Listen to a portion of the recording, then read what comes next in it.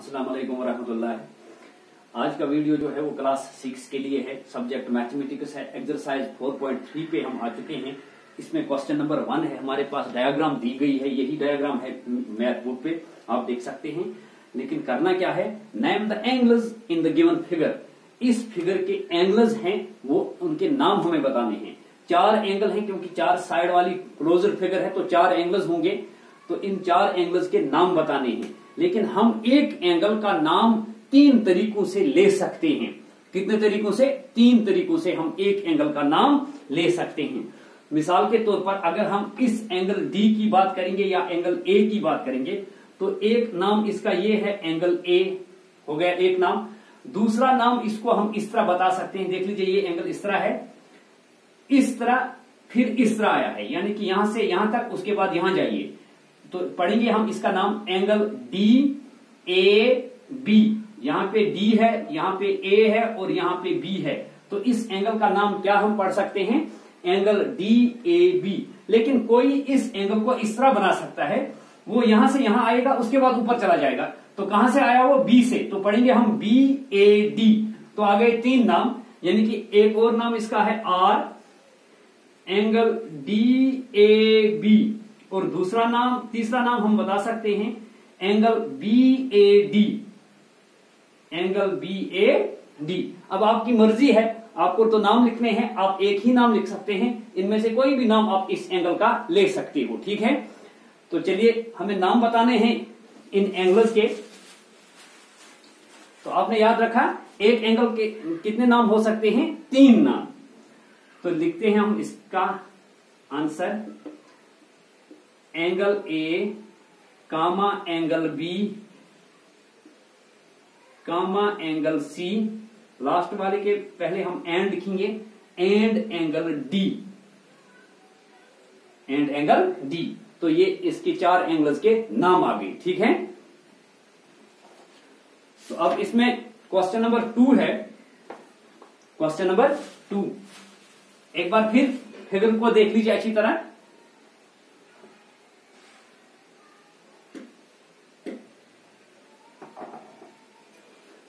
तो question number to हमारे पास है। In the given diagram name the points एक डायग्राम दी गई है, हमें इस पे पॉइंटस दिए गए हैं, हमें इन पॉइंटस के नाम लिखने हैं। इसको मैं राफ करता हूँ। क्वेश्चन नंबर टू हमारे पास है। फिगर दी गई है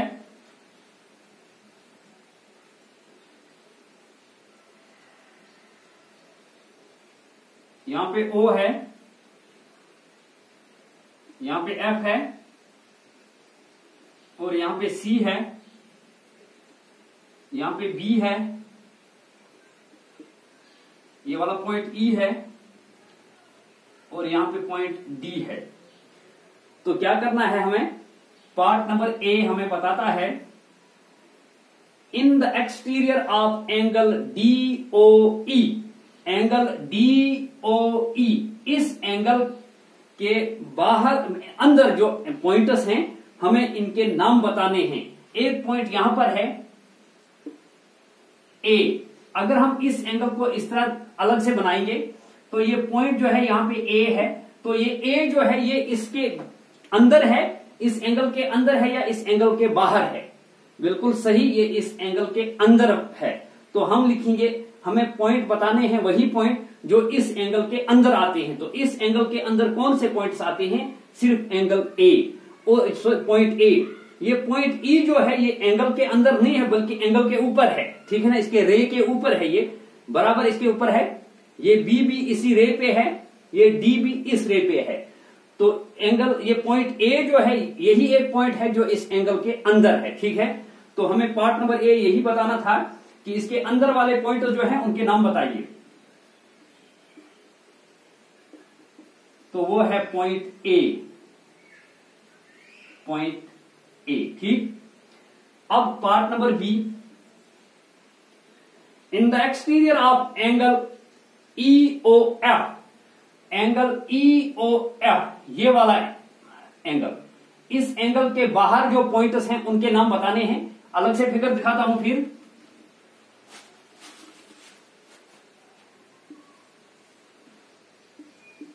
ई ओ एफ़ यहाँ पे बी है, इस साइड में ए है, इस साइड में सी है। इस एंगल के अंदर कोई पॉइंट है, बिल्कुल कोई पॉइंट नहीं है, लेकिन इस एंगल के ऊपर कितने पॉइंट है? एक, दो, तीन, चार। तो चार पॉइंट इस एंगल के ऊपर हैं, कोई पॉइंट इसके अंदर नहीं है, लेकिन बाहर से कितने पॉइंट हैं?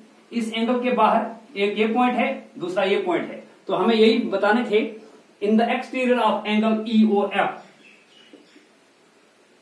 तो एक पॉइंट ए है और दूसरा पॉइंट सी है। Point A and point C ये इस एंगल के बाहर वाले पॉइंट हैं, ठीक है? अब इसका सी पार्ट है। On angle EO F EO F पे जितने पॉइंट्स हैं, आपको नाम बताने हैं। जरा देख लीजिए गौर से एंगल ईओ एफ़